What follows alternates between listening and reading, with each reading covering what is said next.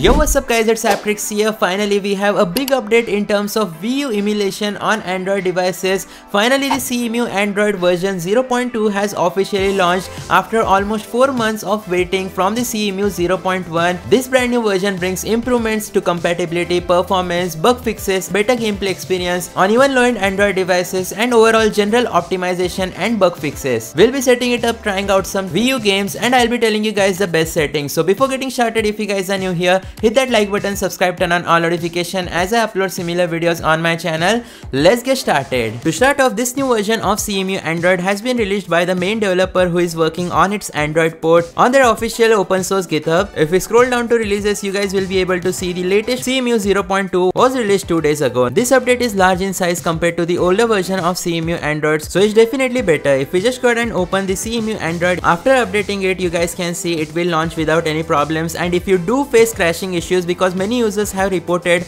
after updating to this version the emulator instantly crashes. You'll need to remove the old version of CEMU Android and then only directly update it if you face crashing issues. But in my case it did not crash when I launched this emulator so I guess I am good to go. The device which I am using in today's video is the Realme GT7 Pro with Snapdragon 8 Elite processor and one of the best compatibility factors about CEMU is that it works really well even on Mali GPU Android devices or low-end devices. So the compatibility is great. Let's start with the setup. Basically, you'll need to tap on these three lines afterwards. Make sure to open the CEMU folder and make sure to add your Nintendo Wii U keys that you have dumped inside the CEMU directory. Once that has been done, you'll need to go to settings. Afterwards, go to general settings and here make sure to add a game path by tapping on the plus button and afterwards selecting the folder where you have stored your Nintendo Wii U games. Once your games are imported, you can scroll back and refresh the CEMU page to see if your games are being shown inside the emulator. If they are being shown, then go to settings once again, go to input overlay settings and make sure that the on-screen touch controls have been enabled. Once that has been done, go to controller 1 and make sure to select the emulated controller as Wii U gamepad. Now that's out of the way, let's go back to graphics settings and here we have the custom drivers option where you can import the Mesa Turnip Adreno driver and use it to get better performance and better graphics on Snapdragon processor Android device, specifically Snapdragon 4 Gen 1 processor till Snapdragon 8 Gen 3 processor. But if your games do not work, then make sure to remove the custom graphics driver if you have already added any for experimental purposes. Full screen stretching make sure to keep it at stretch afterwards enable accurate barrier as well as asynchronous shader compilation for better graphics. Other than that everything you can keep it as default. In terms of audio you can also disable the audio output if you want better performance. Let's go back and here in overlay settings you just have to enable the FPS overlay at the top left corner and increase the overlay text size according to your preferences. Basically you will get information about how well is the game performing and how much of your device's resources are being used. UI wise I only noticed few changes other than that I think everything is internal. So let's start off by testing out our first game which is going to be the Minecraft Wii U edition. Let's see if this works. Nope, it crashes. Now this goes without saying but CEMU Android is still in its beta stages and this is just the 0.2 release of the simulator so not all games will be compatible.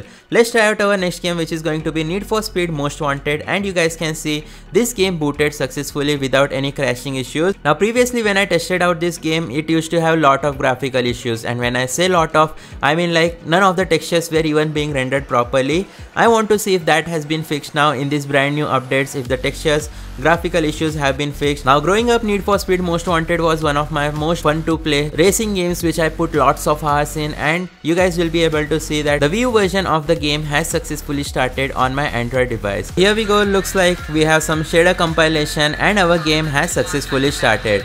Now I am able to notice lot of graphical issues once again but it has definitely decreased compared to previous time and here we go now that everything has rendered oh my god the graphical issues have actually decreased by quite a lot.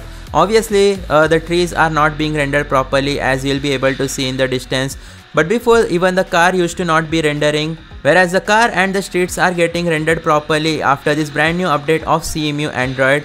You guys will be able to see we are getting straight up 30 fps without any issues but there is definitely large amount of input delay. You guys will be able to notice it for yourself. Like the sensitivity input delay and the on-screen touch controls have some issues like especially the joystick. It's very small so it is slipping up quite a lot. Other than that, this game is actually completely playable inside the CEMU Android which is definitely a big step towards Wii U emulation. But do note that it works well only on flagship Android devices and if you have a low-end device then don't even think about getting this much FPS, you will get anywhere from 5 to 10 FPS. But yeah, this game does work and is completely playable.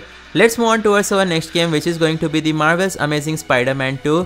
As you guys can see, I have this game added on my Android device. Let's open it and let's start playing it. One thing which I also want to show you guys is that now we have a sidebar where we can enable motion. We can also enable show pad option. Let me just go ahead and disable it. We'll just go ahead and press the plus button to begin our game. And as you guys can see, our game has successfully booted and we are getting about 32 FPS at the top left corner. And there are definitely a lot of stuttering issues. And here we go, our game is about to begin. You guys will be able to see we are running the original Amazing Spider-Man 2 game on our Android device, which is running at straight up 30 FPS and it is definitely giving us a very playable gameplay experience but I just wish that the on-screen touch controls were a bit better like other than that as you guys can see everything is working flawlessly without any issues. Well that's going to be it for today's video guys do let me know in the comment section down below which Wii U game will be trying will you be trying to emulate on your Android device and if I should upload more gameplay videos of the CEMU Android. I'll see you guys next time thanks for watching goodbye.